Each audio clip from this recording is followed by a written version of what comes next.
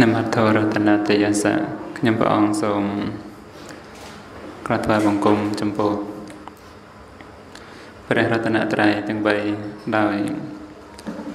សេចក្តីគោរពចេតនានៃខ្ញុំព្រះអង្គសូមក្រាបថ្វាយបង្គំចំពោះព្រះសង្ឃធរៈ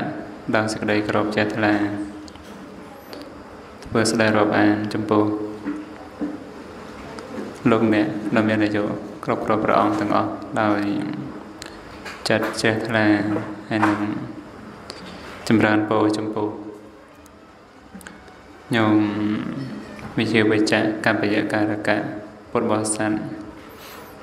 ណាគ្រប់រូបដោយសេចក្តីជ្រះថ្លាហើយសម្រាប់ថ្ងៃនេះគឺជាថ្ងៃទី3 ក្នុងថ្ងៃសង្ក្រានចូលឆ្នាំខ្មែរយើងហ្នឹងហើយក៏ជាថ្ងៃបញ្ចប់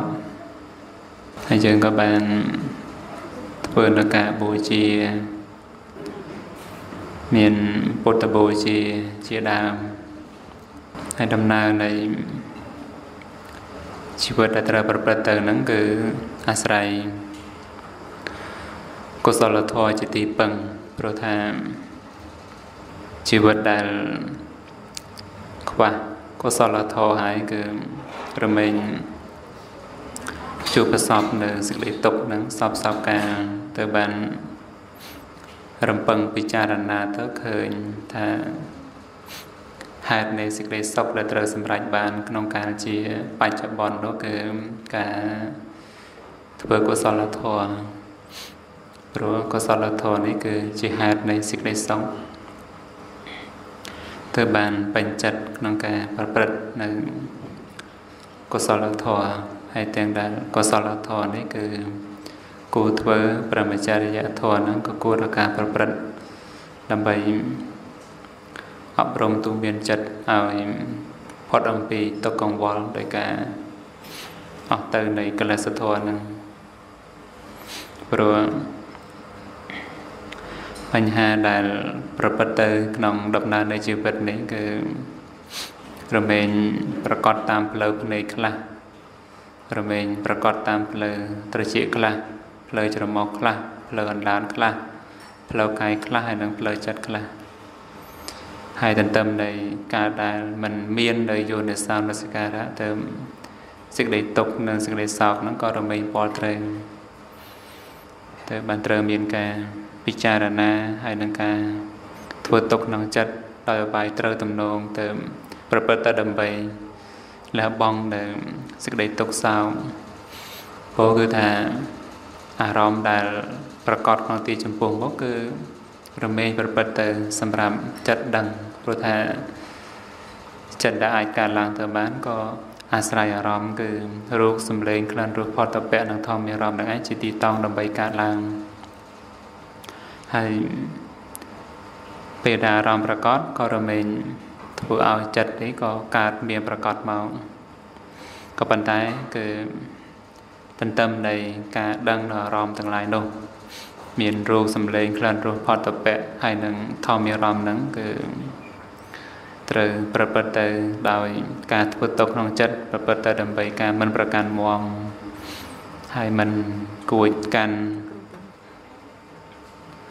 មិនប្រព្រឹត្តទៅដើម្បីអោបកសោបដើម្បីការរស់នៅជាទុកសពសពការក្នុងកាលជាបច្ចុប្បន្ននឹងឯងហើយ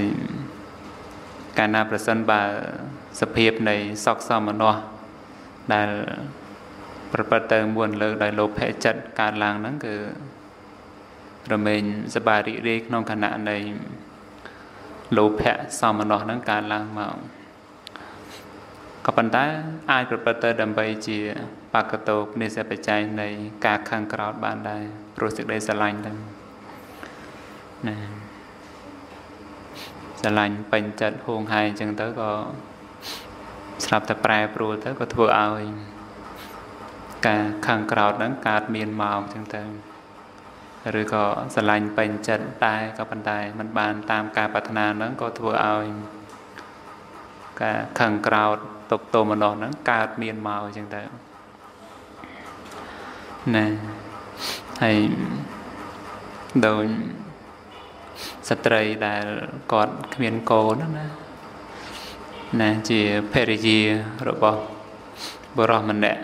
ដែលជាកូនរបស់កដុំពីរនៅនឹងក្រុងសាវត្ថីហ្នឹងគាត់ស្រឡាញ់ស្វាមីអញ្ចឹងទៅក៏ហួងហែងស្វាមីរបស់គាត់ក៏ប៉ុន្តែព្រោះតែខ្លួនជាស្ត្រីមិនមានកូនអញ្ចឹងទៅក៏ម្ដាយរបស់ស្វាមីហ្នឹងចេះតែរំអុកកូនប្រុសរបស់ខ្លួនហ្នឹងឲ្យយកភរិយាមួយទៀតនឹងឯងហើយ ដល់ពេលខ្លួនឯងលើអញ្ចឹងទៅក៏មិនសប្បាយចិត្តដែរទេណាព្រោះជាស្រីរួមប្តីអញ្ចឹងនោះកើតការមិនសប្បាយចិត្តកើតសេចក្តីខឹងក្រោធហើយក៏ប្រព្រឹត្តតែដើម្បីបៀតបៀននិងប្រព្រឹត្តតែដើម្បីឲ្យអ្នកតីហ្នឹងវិនិច្ឆ័យព្រោះតែការខឹងក្រោធរបស់ខ្លួននឹងឯងអាហ្នឹងព្រោះក្តីស្រឡាញ់ណា ណាហើយនឹងបានរតនីរឿងរ៉ាវទាំងអស់ហ្នឹងប្រព្រឹត្តទៅដើម្បីបានជាការសិក្សាហើយនឹង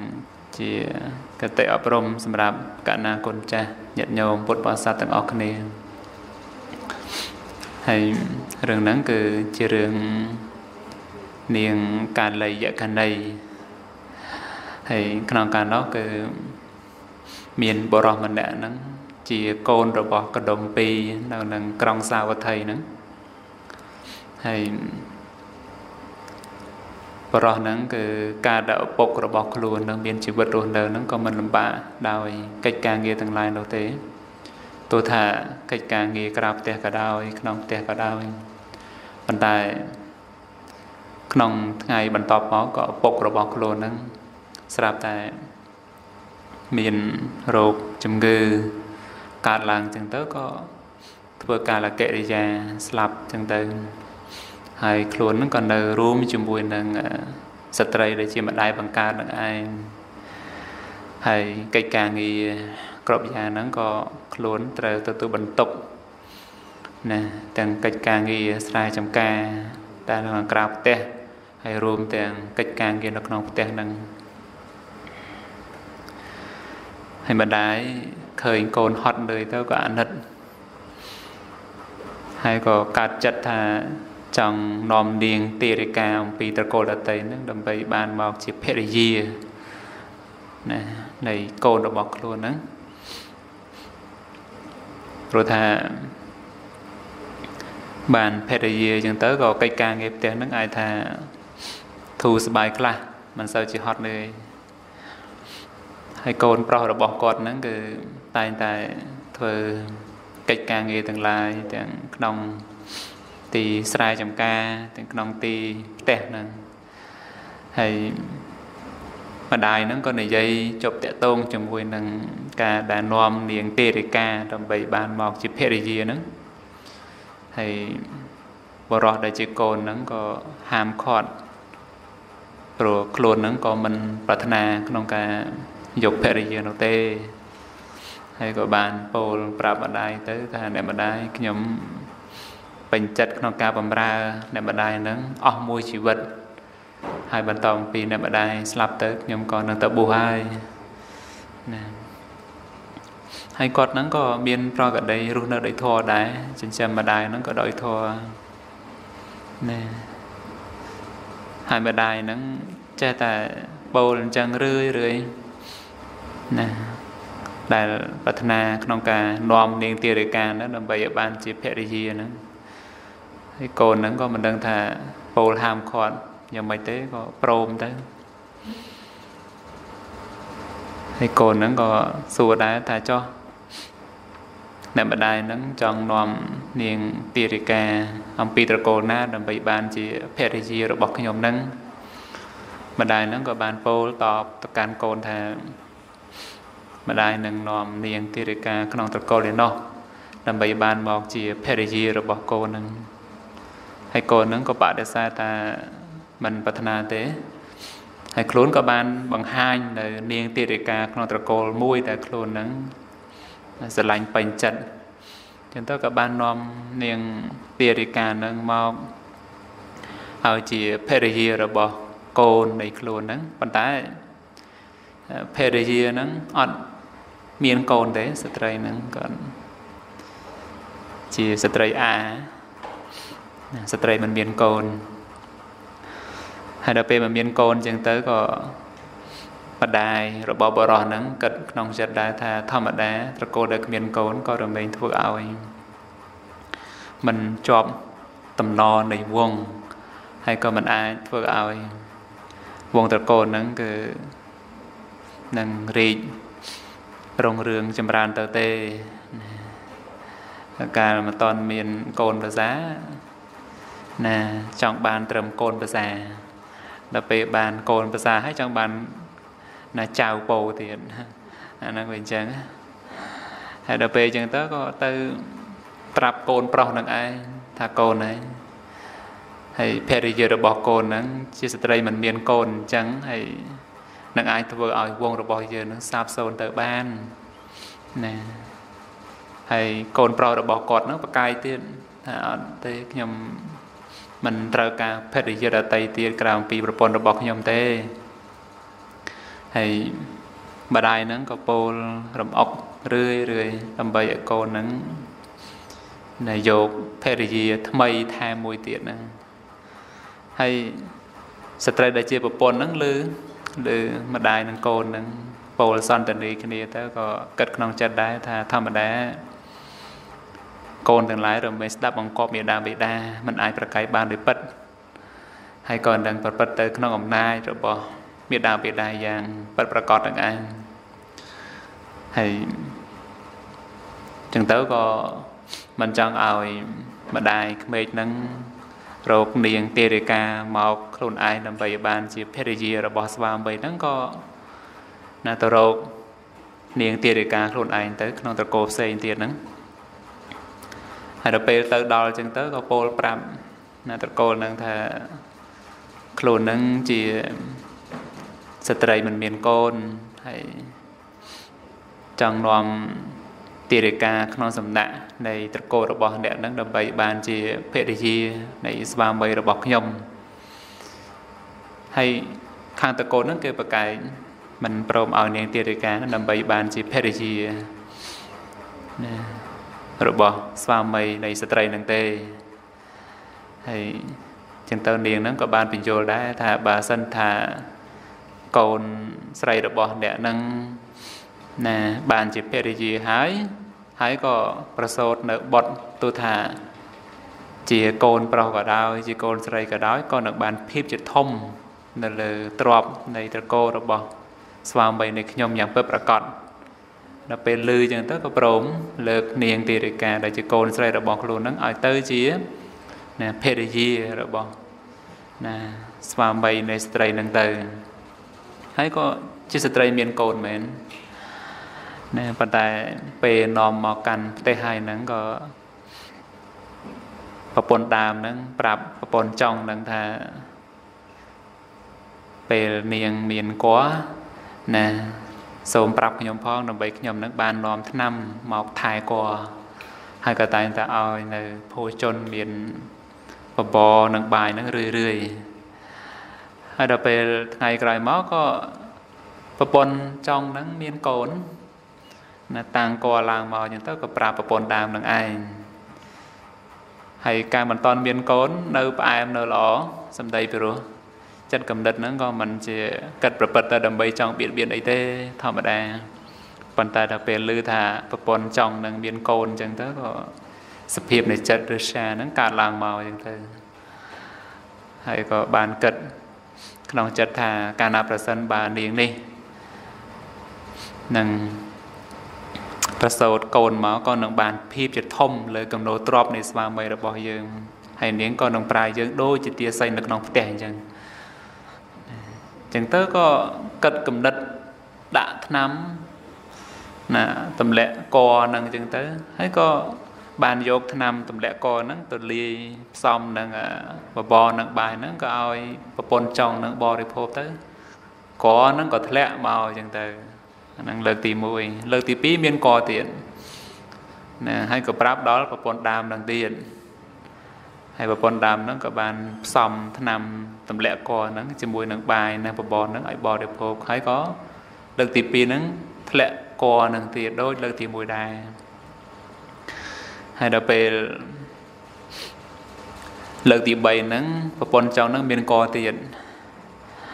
ហើយដល់ពេលមានកទៀតចឹងទៅក៏ មាន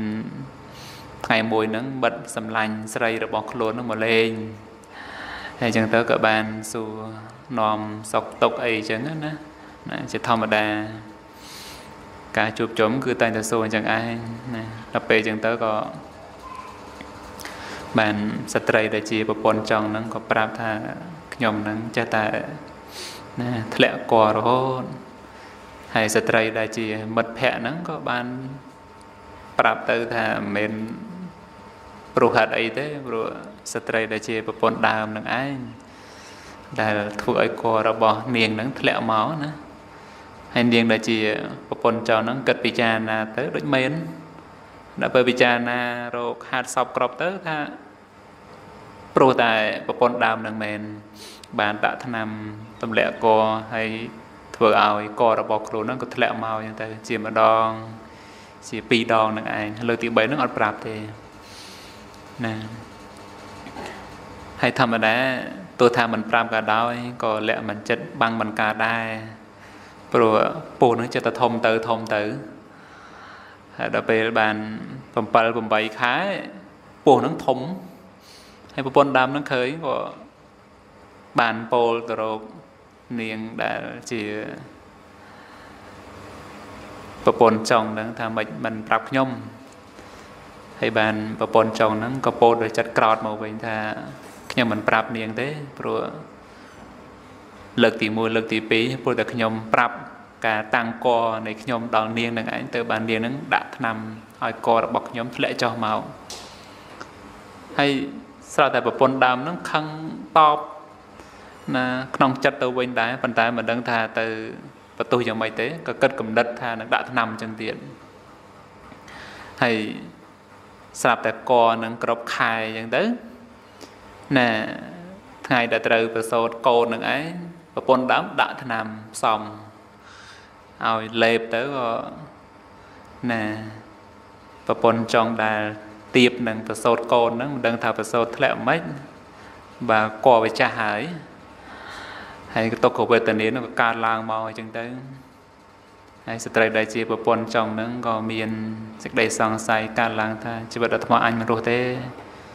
ណាពិតជាស្លាប់យ៉ាងប្រកបដែរហើយដល់ពេលអញ្ចឹងទៅក៏កើតរឿងការចងគំនុំក្នុងចិត្តណាណាខឹងប្រពន្ធដើមនឹងឯងហើយក៏ណាតាំងសេចក្តីប្រាថ្នាឡើងថា អត្តភាពក្រោយក្រោយសូមឲ្យយើងនឹងបានកើតជាយាកហើយណាស៊ីកូនរបស់ណាស្ត្រីនេះណាហើយក៏បានស្លាប់ទៅណាប្រពន្ធចង់ហ្នឹងហើយស្លាប់ពីអត្តភាពជាមនុស្សហ្នឹងបានទៅកើតមេឆ្មានៅក្នុងផ្ទះហ្នឹងឯងណាហើយប្រពន្ធដើមនេះគឺពេលដែលប្តីមកវិញហ្នឹងដឹងថា ប្រពន្ធដើមរបស់ខ្លួនហ្នឹងបានផ្សំថ្នាំឲ្យប្រពន្ធចង់នឹងឯងណាលេបហើយចឹងទៅក៏ស្លាប់បាត់បង់ជីវិត ហើយក៏វ័យប្រពន្ធដើមហ្នឹងទៅទៀតវ័យដោយដៃផងវ័យដោយជើងផងដោយដំបងផងហើយប្រពន្ធដើមហ្នឹងក៏មិនអាចរងនៅទុក្ខវេទនានឹងបានដោយការវាយដំច្រំធាក់អំពីស្វាមីហ្នឹងណាក៏ស្លាប់ទៅ ហើយប្រពន្ធដើមស្លាប់ពីមនុស្សហ្នឹងទៅកើតណាមេមន់នៅនៅក្នុងផ្ទះនឹងឯងណាអញ្ចឹងប្រពន្ធចង់មកកើតមេឆ្មាឯប្រពន្ធដើមមកកើតមេមន់ហើយក្នុងជាតិមុនហ្នឹងធ្លាប់តែស្អប់គ្នាហើយក៏តាំងសេចក្តីប្រាថ្នាដើម្បីការចងពីវរីបៀតបៀនគ្នាមានមកអញ្ចឹងទៅព្រោះតែកម្លាំងពីរនឹងឯង ក៏ធ្វើឲ្យភាពឧស្សាហៈនឹងកើតឡើងមកមេឆ្មាហ្នឹងគាត់តែឃើញពងមន់ហ្នឹងទៅខំហាយស៊ីម្ដងពីរដង លើកទី3ខំស៊ីទាំងមេមន់ហ្នឹងទៅទៀតមេឆ្មាហ្នឹងណាហើយបានមេមន់ហ្នឹងក៏ទៀតនៅស្លាប់ហ្នឹងកើតចិត្តខឹងនឹងមេឆ្មាហ្នឹងហើយក៏គិតកំណត់ក្នុងចិត្តថា កើតជាតិក្រោយក្រោយទៀតហ្នឹងសូមឲ្យយើងបានស៊ីវាវិញស្លាប់ពេលមេមុនតកើតមេខ្លាណាហើយមេឆ្មាហ្នឹងពេលស្លាប់ទៅតកើតមេមរឹកនៅក្នុងព្រៃហ្នឹងណាហើយមេខ្លាហ្នឹងក៏ទៅស៊ីកូនមរឹកហ្នឹងពេលដែលមរឹកហ្នឹងកើតកូនមកម្ដងជាពីរដងស៊ីស៊ីលើកក្រោយលើកទី3ហ្នឹងស៊ីទាំងមេហ្នឹងទៀត ណាហើយមេមរឹកហ្នឹងទៀតនឹងស្លាប់នឹងកើតកំណត់តាំងប្រាថ្នាឡើងថាកើតជាក្រោយក្រោយសូមឲ្យអញនឹងបានស៊ីវាវិញណាស្លាប់ពីមេមរឹកតកើតយៈខណីណាហើយមេខ្លាហ្នឹងពេលស្លាប់ទៅក៏តកើតជាកុលធីតាណាជាស្ត្រីក្នុងត្រកូលនៅនឹងក្រុងសាវត្ថីនឹងឯង ហើយព្រោះតែធ្លាប់ខឹងក្រោតជាមួយគ្នា រហូតតាំងស្ដីប្រាថ្នាកើតជាពីវរាជាមួយគ្នាចឹងទៅក៏ជាប់ណែមករហូតដល់អត្តភាពដែលមកកើតជាយៈនឹងហើយក៏ចិត្តនឹងវាបង្អោនទៅ ពេលដែលនាងកុលតិតានឹងធំចម្រើនពេញវ័យហើយចឹងទៅក៏បាន ឪពុកម្ដាយនឹងលើកឲ្យបរោះដតីហើយបានជាភរិយារបស់បរោះដតីនឹងទៅហើយបរោះហ្នឹងគឺផ្ទះរបស់ខ្លួនក៏នៅក្រៅក្រុងទេ នៅស្រុកមួយក្បែរមាត់ណាទ្វារក្រុងសាវត្ថីហ្នឹងឯកុលទីដាហ្នឹងគឺនៅក្នុងក្រុងទេណា ប៉ុន្តែពេលដែលរៀបការរួចហើយអញ្ចឹងទៅក៏ត្រូវមកនៅខាងតកួស្វាមីអញ្ចឹងរើពីក្នុងក្រុងមកនៅក្រៅក្រុងវិញហើយនាងយក្ខណីហ្នឹងក៏ពេលដែលបានលើដំណឹងថានាងកុលធីតាហ្នឹងតាំងកមកហើយហើយថ្ងៃដែលប្រសូតកូននឹងឯងក៏ខ្លែងភេទណែដូចជាមិត្តសម្លាញ់ស្រីរបស់នាងកុលធីតានឹងហើយក៏មកស៊ីកូនរបស់នាងកុលធីតានឹងទៅណា ម្ដងជាពីរដងស៊ីអញ្ចឹងទៀតហើយដល់ពេលលើកទី3ហ្នឹងនាងកុលធីតាក៏គិតក្នុងចិត្តដែរថាបាទអាត្មាអញមានកហើយហើយប្រសូតនៅទីនេះប្រកាសជានាងយក្ខណីនឹងមកស៊ីកូនអញទៀតហើយហើយក៏ខ្សឹបប្រាប់ប្តីថាឯងយើងទៅផ្ទះខាងយឹតខ្ញុំទៅដើម្បីប្រសូតកូនបើមិនចឹងទេនាងយក្ខណីហ្នឹងស៊ីកូនយើងទៀតហើយប្តីហ្នឹងក៏ព្រម ហើយគាត់ហ្នឹងក៏ចិត្តគ្រប់ខែហើយហើយស្ត្រីដែលជាកុលធីតារួមនឹងស្វាមីរបស់ខ្លួនហ្នឹងក៏បានណាទៅកាន់ត្រកូលនៃញាតខាងភរិយានឹងឯងនៅក្នុងក្រុងសាវត្ថីហ្នឹងហើយបានប្រសូតកូនមកស្រួលបួលហើយអញ្ចឹងទៅក៏បានដាក់ឈ្មោះដាក់អីហើយអញ្ចឹងទៅក៏ណា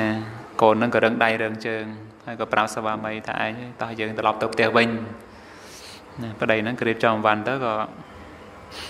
មកជាមួយនឹងប្រពន្ធវិញទៅហើយមកហ្នឹងគឺឆ្លងកាត់វត្តចិត្តពុនដែរណាដើរតាមផ្លូវកាត់កដាលវត្តហ្នឹងហើយដល់ពេលដើរដើរទៅក៏កលេចទៅឃើញស្រះទឹកបោកខរណីមួយនៅម្ខាងព្រះវិហារហ្នឹងហើយក៏ថ្ងៃក្តៅផងក៏មានចិត្តចង់ងូត ហើយចឹងទៅក៏ឲ្យកូនទៅប្តីពោទៅខ្លួនហ្នឹងក៏ចុះងូតទឹកណែដល់ពេលងូតទឹកហើយចឹងទៅក៏ឡើងមកវិញមកហើយប្តីហ្នឹងក៏ចុះងូតម្ដងទៅហើយពេលដែលប្តីហ្នឹងឲ្យកូនដល់ស្ត្រីដែលជាភរិយាហ្នឹងក៏កំពុងតែបំបៅដោះកូនណាណាស្រាប់តែក៏លើយទៅឃើញនាងយក្ខណីហ្នឹងស្ទុះរត់មកហ្នឹងហើយនាងកុលធីតានោះក៏ស្រែកណាប៉ុន្តែក្នុងការមុនហ្នឹងគឺដែលនាងកុលធីតាប្រសូតកូននៅក្នុងក្រុងសាវត្ថីដោយពិតទៅសម្បីតែនាងជាកណីមកស៊ីក៏បានដែរក៏ប៉ុន្តែ ក្នុងកាលដែលនាងកុលធីតាកំពុងតែប្រសូតកូននៅក្នុងក្នុងក្រុងសាវត្ថីហ្នឹងខ្លួនឯងក៏ដល់វិរៈក្នុងការនាំទឹក ទូលដោយក្បាលណាណាចូលទៅបំរើស្ដេចវេស្សវណ្ណហ្នឹងហើយមួយវរៈមួយវរៈដែលខ្លួនឯងត្រូវទទួលហ្នឹងគឺប្រហែលជា3ទៅ4ខែយូរដែរហើយមានយៈខ្លះហ្នឹងព្រោះតែទូលទឹកមកបំរើស្ដេចបេសវ័នហ្នឹងមានរបួសខ្លួនប្រាណរហូតដល់ស្លាប់ទៅក៏មានដែរណាប៉ុន្តែដល់ពេលចប់វិរៈ វេនរបស់ខ្លួនប្រហែលជា3ទៅ4ខែហើយហ្នឹងក៏ស្ទុះមកនឹងឯងហើយនៅសួរអ្នកស្រុកអ្នកភូមិហ្នឹងបាត់មិត្តសម្លាញ់ខ្ញុំទៅណាហើយហើយបានអ្នកស្រុកអ្នកភូមិហ្នឹងក៏ប្រាប់ទៅថានាងកុលធីតាហ្នឹងបានទៅប្រសូតកូននៅនឹងផ្ទះញាតិខ្លួននៅក្នុងក្រុងសាវត្ថីនោះហើយបាននាងយក្ខណីហ្នឹងគឺកើតកំណត់ក្នុងចិត្តថាទុះនាងឯងទៅដល់ទីណាក៏ដោយអញតាមស៊ីតបានណា ស្ទុះរត់មកនឹងឯងហើយមកជួបគ្នាត្រង់កណ្ដាលផ្លូវទៀបនឹងវត្តចិត្តពុននឹងហើយស្ត្រីដែលជាកុលធីតាហ្នឹងកំពុងតែបំបៅដោះកូនហ្នឹងស្រាប់តែឃើញនាងយក្ខណីកំពុងស្ទុះរត់មកស្រែកឡើងអញ្ចឹងទៅក៏ប្រាប់ប្តីថាឯងឡើងលើកោកលឿននាងយក្ខណីមកហើយហើយប្តីហ្នឹងក៏មកមីងមកមាំងក្នុងទឹកហ្នឹងឯងណាយឺតពេកអញ្ចឹងទៅប្រពន្ធហ្នឹងចាប់3កូន រត់ទៅមុនទៅហើយរត់ចូលទៅនៅក្នុងវត្តចិត្តពុននឹងឯងហើយដល់ពេលទៅក៏ក្នុងពេលនោះគឺជាពេលដែលព្រះសម្មាសម្ពុទ្ធព្រះអង្គទ្រង់កំពុងតែសម្ដែងនៅពធប្រោះដល់ពុទ្ធបរិស័ទហើយក៏រត់ទៅកណ្ដាលវងដែលពុទ្ធបរិស័ទហ្នឹងក៏ណាស្ថិតនៅក្នុងទីចំពោះណា មុខនៃព្រះភ័ក្ត្ររបស់ព្រះសម្មាសម្ពុទ្ធនឹងក៏បាន3ពោកូនរបស់ខ្លួននឹងទៅដាក់ទៀបព្រះយកុលបានរបស់ព្រះសម្មាសម្ពុទ្ធហើយក៏បានពោលឡើងថាបពុតព្រះអង្គដល់ចម្រើនសូមព្រះអង្គទ្រង់ព្រះមេត្តាអនុគ្រោះជួយណាប្រទានជីវិតដល់កូនរបស់ខ្ញុំព្រះអង្គផងព្រោះថាចក្ខណីហ្នឹងគឺមកដើម្បីប្រាថ្នាក្នុងការបៀតបៀននៅកូនរបស់ខ្ញុំព្រះអង្គណា បានព្រះសម្មាសម្ពុទ្ធក៏ព្រះអង្គទ្រង់ត្រាស់សម្ដែងថាមនាលនាងកុលធីតាអន្តរាយកំបីមានដល់នាងនឹងកូនរបស់នាងឡើយហើយពេលដែលនាងកុលធីតានឹង3កូនរត់ចូលវត្តហ្នឹងនាងជាកណីក៏តាមមកពីក្រោយដែរក៏ប៉ុន្តែពេលដែលមកដល់ត្រឹមខ្លងទ្វារវត្តចិត្តពុនហ្នឹងគឺចូលខាងក្នុងវត្តអត់បានទេដោយសារថា នៅនឹងខ្លងទ្វារហ្នឹងមានទេវតាមួយឈ្មោះថាសុមនៈទេវតាហ្នឹងរក្សាខ្លងទ្វារវត្តហ្នឹងអត់ឲ្យនាងចក្ខណីនឹងចូលទេហើយបានព្រះសម្មាសម្ពុទ្ធក៏ព្រះអង្គទ្រង់ជ្រាប ហើយក៏ព្រះអង្គទ្រង់ត្រាស់ប្រាប់ព្រះអនន្តដែលគង់ទៀបចិត្តនឹងព្រះសម្មាសម្ពុទ្ធនឹងឲ្យទៅនាំនាងយក្ខណីនឹងមកទៅបាន សមណៈទេវតាហ្នឹងក៏មិនបានហាមឃាត់ទេព្រោះឃើញព្រះអនន្តលោកនិមន្តមកហើយហើយក៏ឲ្យនាងយក្ខណីហ្នឹងចូលទៅនៅក្នុងវត្តទៅហើយនាងកុលធីតាក៏លេចមើលទៅខាងក្រោយគ្រាន់តែឃើញនាងយក្ខណីនឹងមកក៏ស្រែកណាក្នុងទីចំពោះមុខព្រះភ័ក្ត្ររបស់ព្រះសម្មាសម្ពុទ្ធនឹងឯងថាពុទ្ធព្រះអង្គនៅចម្រើននាងយក្ខណីមកហើយខ្លាចណាហើយបាន ពេលដែលនាងយក្ខណីនឹងមកចឹងទៅក៏ព្រោះតែមានស្ដីគោរពក្នុងព្រះសាស្តាក៏មិនបានធ្វើនៅការបៀតបៀនចំពោះនាងកុលធីតាព្រមទាំងកូនរបស់ស្ត្រីនឹងទេទៅបានព្រះសម្មាសម្ពុទ្ធក៏ព្រះអង្គទ្រង់ត្រាស់សម្ដែងនឹងថាអ្នកទាំងពីរហ្នឹងគឺកាលណាប្រសិនបើមិនបានស្ថិតនៅក្នុងទីចំពោះប្រភៈរបស់ តថាគតនោះទេ គឺពីរបស់អ្នកទាំងឡាយនេះមិនស្ងប់រងាប់ទេរមែងតាំងនៅអស់នៃកັບដល់ច្រើនណាប្រៀបដូចជាសត្វពុះហើយនឹងនឹងស្កាប្រៀបដូចជាសត្វខ្លាឃ្មុំជាមួយនឹងដើមបង្រោប្រៀបដូចជាសត្វក្អែកជាមួយនឹងសត្វមៀមអត់ដែលត្រូវគ្នាទេសត្វនឹងគឺពេលដែលឃើញគ្នានឹងពិសេសពុះនិងស្កាណា នឹងព្រោះតែសេចក្តីក្រោតទៅបាន ការចងពីវរៀនហ្នឹងក៏មានមកអញ្ចឹងអញ្ចឹងគូតក់ស្លុតភ័យខ្លាចគូឃើញថាការខឹងក្រោតនេះវាជាភ័យនាំមកនៅស្ដីអន្តរាយដ៏ធំធេងទៅបានពេលហ្នឹងក៏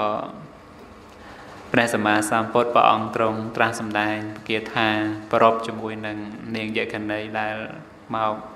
ស្ថិតនៅក្នុងទីចំពោះមុខនៃព្រះភ័ក្ត្ររបស់ព្រះសម្មាសម្ពុទ្ធនឹងថានិហិវេរណៈវីរានិសមត្តៃធៈគុទាចនាំងអវេរណចៈសមន្តិអេសធម្មោសនន្តណោប្រែថាមែនពិតរីពៀទាំងឡាយរមែងមិន ស្ងប់រងាប់ដោយការចងពៀទេនៅក្នុងលោកនេះដែលមាននៅក្នុងកាលណាតែថាពៀទាំងឡាយហ្នឹងគឺរមែងស្ងប់រងាប់ដោយការមិនចងពៀហើយធននេះក៏ជាប្រវេណីរបស់បុរាណបណ្ឌិតទាំងឡាយមានព្រះសម្មាសម្ពុទ្ធជាដើមអញ្ចឹងមានន័យថាចំពោះពៀទាំងឡាយដែលមាននៅក្នុងលោកនេះ គឺมันអាចស្ងប់រងាប់ដោយការចងពៀក្នុងការណាបាននោះទេក៏ប៉ុន្តែគាត់ថាពៀដែលមាននៅក្នុងโลกនេះណាគឺអាចស្ងប់រងាប់ទៅបានដោយការមិនចងពៀវរៀននឹងឯង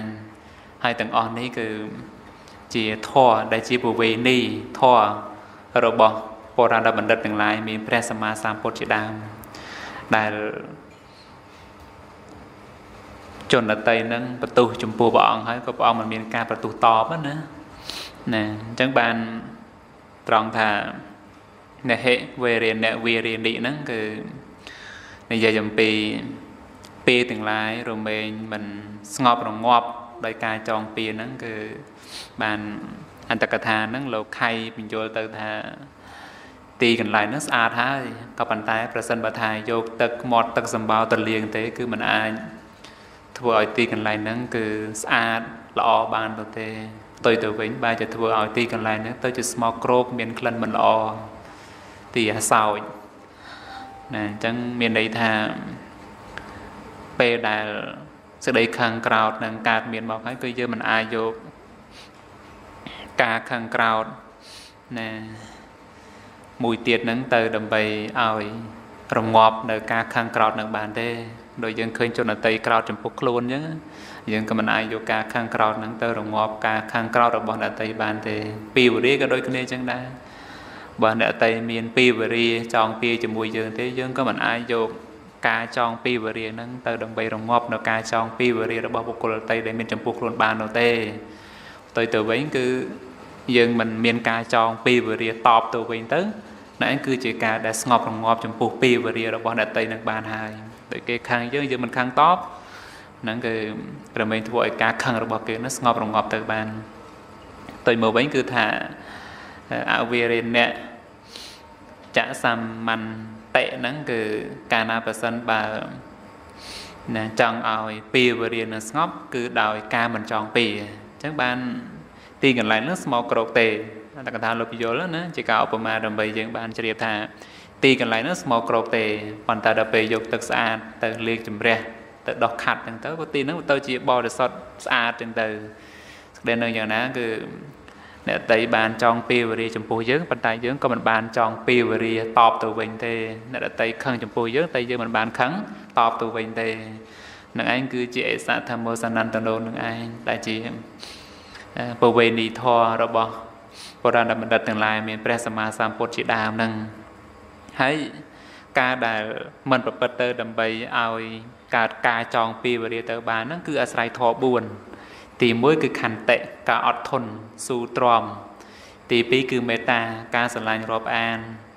ណាសន្តោសប្រោះប្រណីហើយទី3គឺការធ្វើទុកក្នុងចិត្តដល់បាយនៃប្រាជ្ញាហើយទី4គឺការពិចារណា តាមហេតុតាមផលណាទៅបានធ្វើឲ្យការមិនមាន ពីវរិយហ្នឹងកើតឡើងមកចឹងទៅផុតអំពីការចងពីវរិយហើយការមិនចងពីវរិយហ្នឹងក៏ប្រកាសមកសម្រាប់បុគ្គលនោះហើយពេលដែលនាងយក្ខណីនឹងបានស្ដាប់ពគាថាហើយប្រពន្ធនឹងក៏បានសម្រេចជាសោតាបត្តផលណាជាសោតាបណ្ឌបុគ្គលហើយបានព្រះសម្មាសម្ពុទ្ធក៏ព្រះអង្គទ្រង់ត្រាស់ជាមួយនឹងនាងកុលធីតានឹងឯងឲ្យយកកូនដែលនៅនឹងទៀប ព្រះយគុលបារបស់ព្រះសម្មាសម្ពុទ្ធនឹងឲ្យនាងយក្ខណីទៅហើយនាងកុលធីតាលើទៅអញ្ចឹងភ័យហ្នឹងហើយក៏បានក្រាបទូលព្រះសម្មាសម្ពុទ្ធថាបើពិតព្រះអង្គដល់ចម្រើនខ្ញុំព្រះអង្គខ្លាចហើយបានព្រះសម្មាសម្ពុទ្ធក៏ព្រះអង្គទ្រង់ត្រាស់សម្ដែងថាមនានាងកុលធីតាអន្តរាយនឹងមិនមានដល់អ្នកព្រមទាំងកូនរបស់អ្នកនោះទេ នាងក៏ព្រមទៅជឿព្រះសម្មាសម្ពុទ្ធណាឲ្យកូនរបស់ខ្លួននឹងទៅនាងយក្ខណីទៅហើយនាងយក្ខណីហ្នឹងពេលដែលយកមកហើយហ្នឹងក៏អោបថើបចិញ្ចក់ដៃចិញ្ចក់ជើងអញ្ចឹងទៅណាញញឹមញញែមហើយមួយសន្ទុះក្រោយមកក៏ស្រែកយំឡើងទៅវិញណាហើយពិសាចយំហើយដល់ពេលយំទៅក៏ឲ្យកូនទៅនាងកុលធីតានឹងវិញទៅហើយបាន ព្រះសម្មាសម្ពុទ្ធក៏ព្រះអង្គទ្រង់ត្រាស់សួរតើកើតអីមិនបានយំអញ្ចឹងហើយបាននាងយេកណ្ដីហ្នឹងក៏ក្រាបទូលព្រះសម្មាសម្ពុទ្ធថាបពុតព្រះអង្គដល់ចម្រើន ក្នុងកាលមុនខ្ញុំព្រះអង្គក៏ចិញ្ចឹមជីវិតមិនត្រូវទំនងដោយការសម្លាប់សត្វសម្លាប់ជីវិតរបស់អ្នកតីដើម្បីមកចំអាតផ្ទៃរបស់ខ្លួនហើយទាំងតែការចំអាតផ្ទៃហ្នឹងក៏មិនបានឆ្អែតពេញបរិបូរផងប៉ុន្តែឥឡូវខ្ញុំព្រះអង្គមិនអាចចិញ្ចឹមជីវិតដោយការធ្វើនៅបាណាតិបានអញ្ចឹងទេ ណាព្រោះថាព្រះសោតាបណ្ឌបកុលនេះអត់សម្លាប់សត្វទេណាណាយើងក៏បីបានជ្រាបអញ្ចឹងទៅហើយដល់ពេលអញ្ចឹងទៅបានព្រះសម្មាសម្ពុទ្ធក៏ព្រះអង្គទ្រង់បែរប្រភពទៅរកនាងកុលធីតានឹងហើយក៏បានទ្រង់ត្រាស់ថានាងកុលធីតាចូលនាងនឹងគឺទំនុកបំរុងនៅនាងយក្ខនេនេះដោយបាយនិងបបរផងចោះហើយពេលដែល ឃើញថានាងយក្ខនេនឹងមិនមានការបៀតបៀនខ្លួនអញ្ចឹងទៅក៏កើតចិត្តថាដូចជាសម្លាញ់នៃខ្លួនណាអញ្ចឹងពីវរិយទាំងឡាយហ្នឹងក៏ស្ងប់រងាប់អស់ទៅណាផ្ទុយទៅវិញក៏ទៅជាមិត្តសម្លាញ់អញ្ចឹងទៅហើយក៏បានក្រាបទូលព្រះសម្មាសម្ពុទ្ធពុទ្ធបងដល់ចម្រើនណាអញ្ចឹងខ្ញុំព្រះអង្គក៏នឹងទំនុកបំរុងនៅនាងយេកណេនេះដោយបាយនឹងបបរទាំងឡាយហើយក៏បាន នាំនាងយេកណេនេះមកកាន់ផ្ទះរបស់ខ្លួនហើយឲ្យនៅនឹងរោងត្បាល់ជន់ហើយពេលគេបុកស្រូវម្ដងម្ដងលើដឹបដឹបដល់ពេលអញ្ចឹងអង្រេនឹងហាក់ដូចថាប្រកបត្រង់សៃស័ករបស់នាងយក្ខណីនឹងអញ្ចឹងហើយក៏បានហៅនាងកុលធីតានឹងដែលជាមិត្តសម្លាញ់ស្រីរបស់ខ្លួននឹងមកប្រាប់ថាខ្ញុំនៅមិនកើតទេកន្លែងហ្នឹង ពេលបុកស្រូវម្ដងម្ដងហ្នឹងរេនឹងហាក់ដូចជាវ័យក្បាលខ្ញុំអញ្ចឹងផោងផោងនៅមិនកើតទេឲ្យខ្ញុំនៅកន្លែងផ្សេងទៅហើយបាននាងកុលធីតានោះគិតទៅក៏អញ្ចឹងមានតែទៅនៅក្បែរពីងទឹកនេះយកន័យថាអត់ទៅទេកន្លែងហ្នឹងពពួកក្មេងទាំងឡាយតែងតែលេងទឹកហើយសាច់ទឹកគឺ ចំខ្ញុំនឹងឯងអញ្ចឹងទៅនៅក្បែរចង្ក្រានទៅអញ្ចឹងអេកន្លែងហ្នឹងកុំទៅណាកន្លែងឆ្កែដេកហ្នឹងហ្នឹងហើយដល់ពេលទៅអញ្ចឹងទៅនៅក្រោមសញ្ញាផ្ទះទៅកន្លែងហ្នឹងក៏មិនទៅណាសបោក្មេងលេងណាហើយកន្លែងហ្នឹងស្មោកក្រប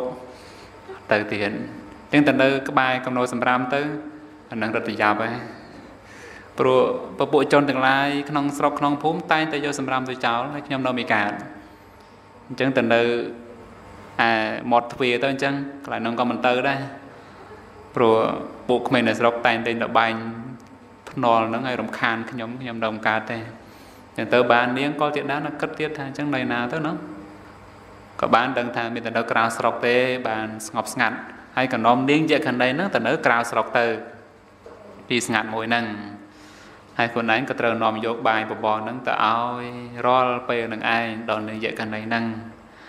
ដល់ពេលទៅរឿយរឿយអញ្ចឹងទៅក៏នាងយក្ខណីហ្នឹងក៏ដឹងឧបការៈគុណអញ្ចឹងណាក៏នឹកឃើញថាយើងរស់អាស្រ័យគេហើយការរស់រៀនមានជីវិតរបស់យើងក៏ជាប់ដោយនាងកុលធីតានេះអញ្ចឹងយើងគួរតែមានការតបគុណអញ្ចឹងតើក៏ប្រាប់តកតងរឿងការធ្វើស្រូវស្រែចម្ការនឹងឯងណាពេលភ្លៀងធ្លាក់ខ្លាំងហ្នឹងក៏ឲ្យធ្វើស្រូវហ្នឹងនៅក្នុងទីខ្ពស់អញ្ចឹងទៅ ណែហើយដល់ពេលភ្លៀងតិចតួចទៅក៏ឲ្យធ្វើស្រែចម្ការនៅក្នុងទីទាបទៅហើយដល់ពេលប្រាប់ប្រដៅកាលក្នុងការធ្វើស្រែបានត្រឹមត្រូវល្អអញ្ចឹងទៅកុលធីតាហ្នឹងគឺណាស្រូវចម្ការហ្នឹងក៏បរិបូរលើសលប់ណាជាងពួកអ្នកស្រុកអ្នកភូមិហ្នឹង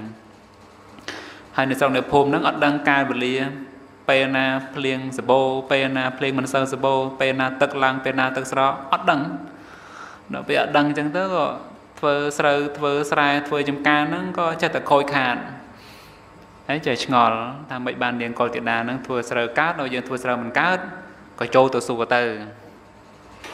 ដល់ពេលចូលទៅសួរអញ្ចឹងទៅក៏បានប្រាប់ថាចុះអ្នកទាំងឡាយមិនឃើញខ្ញុំយកបបរនឹងបាយនឹងទៅខាងក្រៅស្រុកជូន ដល់នាងយេខណីទេថាខ្ញុំអត់ដឹងផងបានសង្កេតផងហើយចឹងទៅក៏បានប្រាប់ថាចូលអ្នកទាំងឡាយហ្នឹងប្រតិបត្តិចំពោះនាងយក្ខណីទៅដោយបាយហើយនៅបបរទាំងឡាយនោះនាងយក្ខណីហ្នឹងក៏នឹងជួយប្រាប់ដើម្បីបានការធ្វើស្រូវស្រែចម្ការហ្នឹងក៏បរិបូរលឹះលប់ដូចជាខ្ញុំចឹងដែរបានពួកអ្នកស្រុកអ្នកភូមិហ្នឹងក៏រៀបចំបបររៀបចំបាយនឹងឯងយកទៅ ណាជូនប្រតិបត្តិដល់នាងយក្ខណីហ្នឹងនៅនឹងក្រៅស្រុកហ្នឹងហើយនាងយក្ខណីហ្នឹងក៏បានដឹងគុណទៅក៏ប្រាប់ក្នុងរដូវនៃការធ្វើស្រែចម្ការអញ្ចឹងទៅក៏បានណាភោគផលហ្នឹងបរិបូរហូរហៀអញ្ចឹងទៅនឹងហើយបាននាងយក្ខណីហ្នឹងគឺក្នុងការជាខាងក្រៅខាងក្រៅហ្នឹងក៏ជាអ្នកមានលៀបច្រើនជាអ្នកមានបរិវារច្រើនទៅណាហ្នឹងគឺរឿងនាងកាលីយក្ខណីហ្នឹងក៏ ណាប៉ុណ្ណឹងដែលយើងក៏បីបានជ្រាបហើយរឿងហ្នឹងក៏ជារឿងដែលយើងក៏បីបានជ្រាបថាការខឹងក្រោតគ្នានឹងឯងគឺបណ្ដាឲ្យនាំកើតពីវរាហើយពីវរានេះក៏មិនមែនជាអវ័យដតីផ្សេងក្រៅតែអំពីការដែលចង់ឲ្យបុគ្គលមួយទៀតនឹងដល់នៅស្ដីវិនិច្ឆ័យអន្តរាយនោះទេទៅបាន រឿងការខឹងក្រោតរឿងការចងពីវរានេះក៏មិនក៏បីកើតមានដល់យើងនោះទេទៅឈ្មោះថាជាបុគ្គលដែលស្ងប់ណាផ្លូវចិត្តហើយកាលណាប្រសិនបើចិត្តនឹងស្ងប់រងាប់ទៅហើយផ្លូវកាយនឹងក៏ស្ងប់រងាប់ទៅដែរហើយអ្វីសំខាន់គឺត្រូវអាស្រ័យធម៌4ដែលយើងក៏បីបានសមាទានគឺការមានខន្តិដែលជាសេចក្តីអត់ធន់នឹងមួយ ការមាននៅមេត្តា គឺការស្រឡាញ់រាប់អានសន្តោសប្របណ្ដី នឹងផ្ដល់នៅសេចក្តីស្រឡាញ់ឲ្យដល់សពសត្វទាំងឡាយនឹងហើយមាននៅការពិចារណាដល់បាយដល់ត្រឹមត្រូវជាការធ្វើទុកក្នុងចិត្តដោយប្រពៃអ្វីដែលគួរអ្វីដែលមិនគួរហើយនឹងការពិចារណាតាមហេតុតាមផលប្រព្រឹត្តទៅដើម្បីការមិនយល់ខុសនឹងឯងហ្នឹងគឺប្រព្រឹត្តទៅដើម្បីសេចក្តីចម្រើននឹងផុតអំពីពីវរាទាំងឡាយសូមអនុមោទនា